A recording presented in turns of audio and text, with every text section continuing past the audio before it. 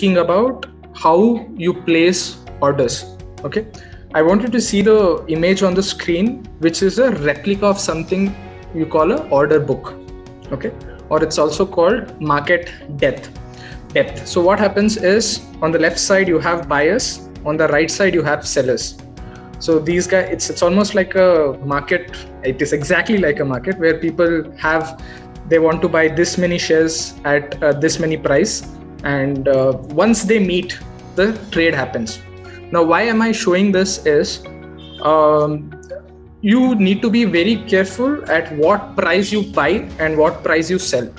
Now, there are two types of orders, which is called limit order and market order.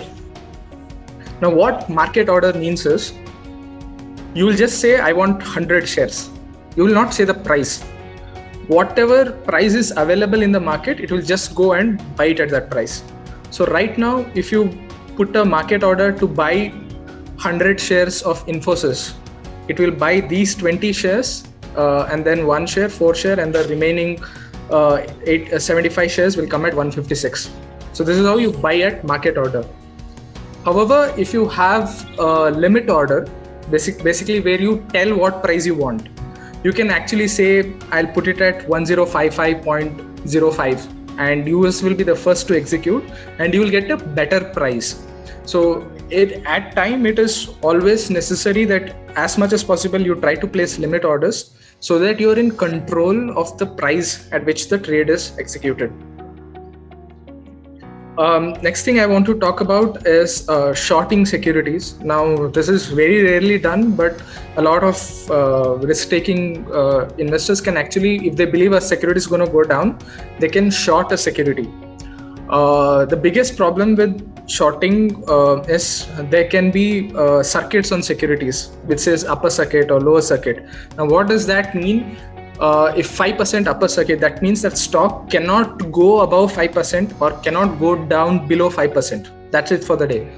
So if you have, uh, for example, bought a security, okay, and if it is at lower circuit, that means you cannot exit that day at all. There are already sellers there.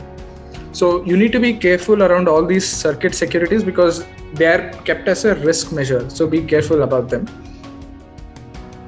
And uh, next, I want to talk about things that affect your stock prices. For example, you have made an investment or you have even made a trade. Uh, the biggest thing that affects uh, a stock is actually either news, announcements, or results. Now, results come every quarter. So, company suddenly this quarter their NPA has gone up. That means they have given people loan uh, they shouldn't have given so then the stock will collapse. And if suddenly they made good profits and their margins are improving or uh, then they would actually go up. Same thing about news. Yesterday the news came out that china wants to release resources and uh, reduce metal prices across the board.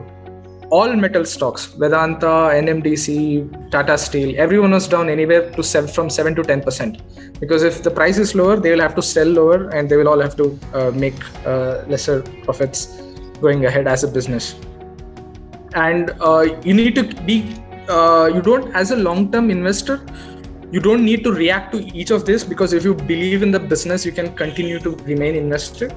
However if something is crazy wrong for something like corporate governance they're trying to merge with a, a you know a subsidiary this is what satyam tried to do. uh, just before everything hell broke loose. So all those things are seen as a bad uh, omen and it's uh, so you need to be careful and only evaluate um, these uh, uh, results and announcements in your original view saying okay i would have still invested in this despite okay the company made 5% less profits. It's okay. I don't have a problem holding on.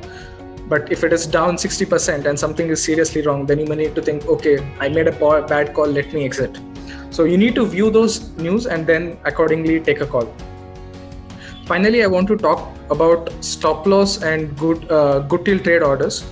Uh, whenever you're doing trading strategies, and this is not necessary for investing, you tend to have a stop loss, um, five percent to ten percent, and basically it basically tells you, okay, I don't believe in this, let me get out. It is a good practice if you're uh, not following the market continuously to have stop losses, and uh, good till trade is basically um, this is a feature that's not available with all brokers, but it's available with multiple brokers. Basically, you can put an order to sell uh, any other day also. For example, you have bought it at 100, you want to sell it at 1200.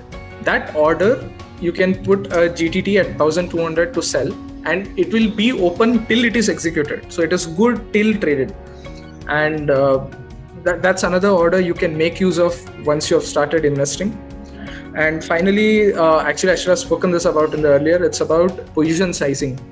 Now uh, you have one lakh rupees investment. Uh, I wouldn't recommend anyone to actually take more than uh, 15 20000 rupees in one share and this is again going back to diversification uh, you need to ensure that all your eggs are not in one basket. So try to split money into different securities across different sectors and take care of position sizing and risk, and, and you would be able to make uh, considerable alpha over time.